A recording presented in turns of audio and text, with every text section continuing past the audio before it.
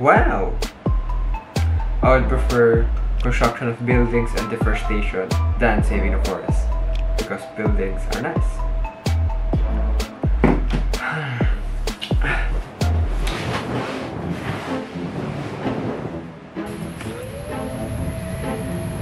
Why am I here? Oh, you're the kid that would prefer deforestation and construction of buildings rather than Yeah. saving the forest. Can you tell me why? Uh, because I like modern buildings. What do you expect from Oh, a millennial? Then let me tell you about biodiversity. That may change your mind. Okay.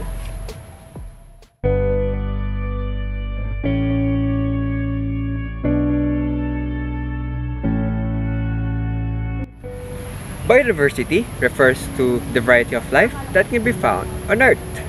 Plants, animals, fungi, microorganisms, as well as to the communities they form and the habitats in which they live. Biodiversity supports human and societal needs, including food, water, security, medicine, and a lot more that underpin good health.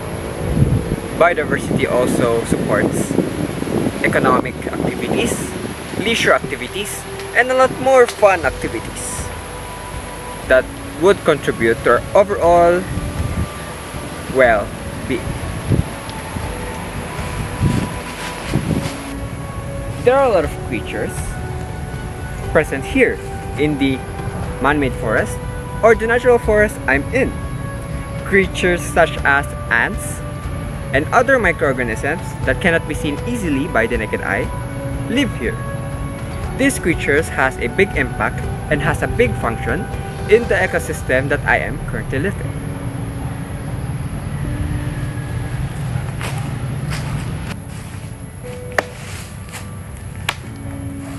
Due to deforestation, the world is losing 137 species of plants, animals, and insects every day, all because of deforestation. A horrifying number of 50,000 species become extinct every year.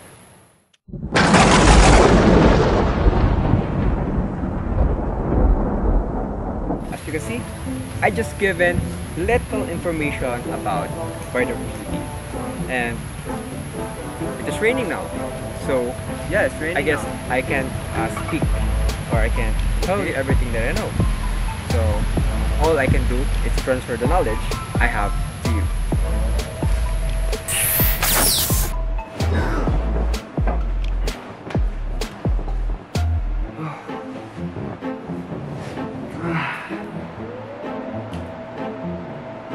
all I can do is transfer the knowledge I have to you. The dodo bird is just one of the species that went extinct because of our unhumanly behaviors, because of our abuse, mining, deforestation, and a lot more actions that had a big impact to these poor species. The use of plastics in the modern times also harm these animals both land and in water mainly because these animals tend to eat these plastics as they mistakenly see it as food. So how can we conserve biodiversity? That's a simple question from what I learned from my dream. We can conserve biodiversity by preserving or preventing deforestation that are rampant from parts that are far from the city. We can also utilize the use of our natural resources because mining will not only give us bad impacts to us humans that would give us pollution in both land and in water because of the chemical spillage. It would also give a big impact to the animals that live in the mining site. You should also ban animal hunting that is especially present in foreign countries because they have hunting seasons. Lastly, we should preserve our water.